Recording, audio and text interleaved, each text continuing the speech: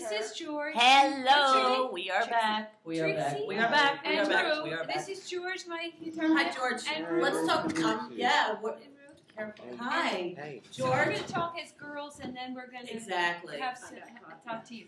That's good. Awesome. So we're back with, a, you know, I am really honored and, and so over the toply excited to have this guest because Phoebe Legere, you are uh, a living legend. Uh, you got to watch that red. That's fine right now, but I know the internet. You got it's so sensitive here. I'll keep That's- a look on it. Yeah. All right. It's in a great place right now. Okay. So, um, Phoebe Legere, you were like a name of this town for, and you you look like you know there's no way you could be around that long because you're freaking drop dead gorgeous. Thank you, Rue. I love the way you look too, and I love your image. Oh my gosh, it's Yeah. mutual, man. You're so smart and so glamorous. I know. Takes one to know one, I suppose. So tell me, when did you start? Like, not you, you know, like where have you been? Where are you from? Where did you start? Oh, thanks for asking. I'm from Massachusetts, and I've been professional since age nine. So I was actually signed to Epic Records at 16, wow. and I've been in this neighborhood basically since I ran away from home at 15. Wow. So I really, I grew up Where in Massachusetts did you leave? Southborough, Mass, which is west of Boston, a little colonial town, but a place where rock and roll was taken very seriously. Huh? Is it anywhere near Somerville? It's uh, Somerville's more of an urban place. I grew up in a very rural farming town. So close because these are like. What are these? These are 57s. Are these the Otto Shrunken Head? Yeah, they House are. mites? Yeah, yeah, yeah. Oh, this must have been all kinds of secondary Yeah, sex uh, fluids I would hope so. I'm these. sure. I am like so. Don't lick them. No, but I am. I, are you germ phobic? I'm like the last of the germ. I am so not germ phobic. No, you don't believe in the germ theory? You know, I don't know. Did you ever see um the what's his name George? What was that great comedian? The greatest one, George, George, George, George. George, George. Oh man, Carlin. Carlin, Thank you, thank you so Oh, much. He was He had a thing about germs, and Really? yeah, He and in? No, he was like, germs, forget about it. I know, I was like, yay, a man after my own heart. I love George Carlin. Oh. You build up your resistance. Yeah, you do. Anyway, all right, so you left at 15. When you were signed at 13, you said? I was signed at 16 to Epic Sony. So, oh, so you ran, so it was here. Oh, right here, yeah. And what did you do? I was uh, signed as a rock and roller. I had a new wave band called Monad, and we took Monad and new wave very seriously. We were really very excited about a kind of imaginary future. That's what new wave was about. Who were your influences? Um, Devo, Oh, wow. uh, very influenced by the Sex Pistols, Okay. deeply influenced by the Sex Pistols. Okay. Later, I became friends with Johnny Rotten. Oh, I always, he's my friend on Facebook. I love him so He's much. Very intelligent, very I know. articulate. Going, uh, this is not a love song. Was like my. I have it in like twenty versions. I love that. I know, I know. Do you? Are you in touch with him still? I am. Because he's yeah, he's in L.A. He is, but you know, he's, he tours a lot. Yeah. He's a businessman. Yeah. Well, he went over to the other side. I know. I love him. I know. I wow, that's so awesome. I'm gonna post this on his wall. Oh. I will. I will. I have a picture in my house with his signature on it. We found it in the rubbish.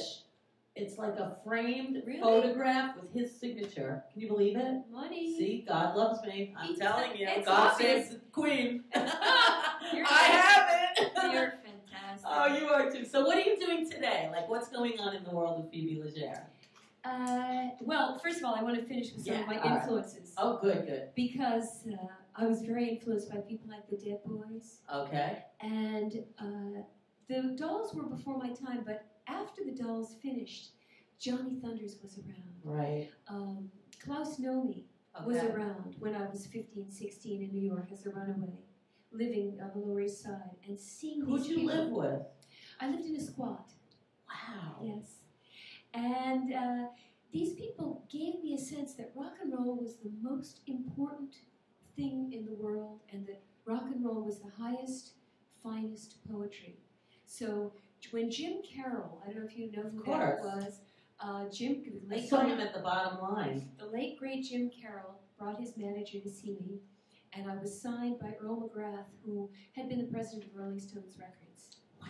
So I thought, uh, there I am. I'm, I'm, uh, this was like practically transcendental for me to be with people like this. And we thought that anything was possible. When you get on stage with a band, it was as if we crossed the border between life and death. We were in some other, we were out of the time space continuum, we Right. were out of the time stream, and we're just in that beautiful place where everybody's a friend and everyone's going to live forever. And unfortunately, not everyone did. Why I survived, I don't know. Sometimes I look in the mirror and I say, why am I still here? But there I must get be a reason. I get it. I know. I, I, I totally get it. Wow. So the reason is, what are you doing today? Okay. Uh, I've been through, I've done 11 CDs. Wow. And after I was on Epic, I had eight different indie record contracts. Wow. You are like people's dream. Uh, I've been very, very lucky. The What music has been good you? to me. dying to know. Can you guess? I'm gonna try. Uh, maybe a Leo. No, my mother is a Leo, and so my so mother. my mother. My mother and my older sister were born on the same day, which is Oh Madonna's wow. birthday. My mother's Madonna's birthday. Oh, August 16th. My sister's the 16. I thought it was the 17th, I think. Um, no, it's the 16th. Oh, Oh, how funny. That's Ah. crazy. It's August 16th. I mean, you can Google it, anybody. Right, Yeah. let's guess That's again. crazy, but they're a day Okay, apart. so I may have Leo qualities, but I'm not a Leo. Go ahead. Well, I, I, I don't know if you're a Gemini. I'll give you should- a, I'll give you a hint. Okay, give me one. Virgo. No, Her boobs. no, uh, on. not Virgo. Okay. Sexy. She's sexy, Is so she compa- Aquarius, Aries? No. she's sexy. So she's gotta be, and she's got that real feminine thing, so she's a feminine sign. It's Libra. No, but I've loved. God, let's go down the whole alphabet here. some of my favorite songs. No, I Pisces? haven't. No, but I adore Pisces. She In looks fact, like my guitar mermaid. player. You'll be the last of the My guitar player, Sir George Leonard, wrote a song called Pisces. We should really do that song. Cancerian? Yes, July 4th is my birthday. Oh, wow. The world celebrates your Well, birthday. remember when I said she was feminine? Yeah. Cancer is the ultimate of the feminine That's why I was sticking my breasts out because we are the mothers of the zodiac. Yes. And what true. are you? I'm a Gemini. Oh, I love what a beautiful Well, song. they, she, Cancers and Geminis get along. we do. We My- do. My you guys have the emotion Gemini. and we like to express. Yeah, yeah. Anyway, I Wow. to you. Tell us more about you. You. I know. So, so what, what, what are you doing today? Like, do you have shows Well, coming up? Yes, or I do. I have tour? I have a show coming up. Is this better? Oh, that is nice. That's oh, that's nice and live. I know. We got, I'll Oh. fix all that during the break. Oh, stud. Yeah. We're playing at the Iridium Jazz Club, which is in the middle of Times Square. It's 51st and Broadway.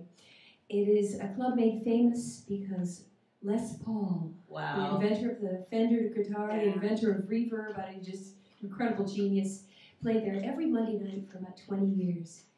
Uh, Iridium is also the home of the greatest international jazz stars. So we're very honored to have a regular gig there Wow. on the third Tuesday of every month. That's awesome. And we get great sound support there from Rich, who was the tenor in the Five Satins, in fact, still singing with the Satins, so he has a great ear for acoustic detail.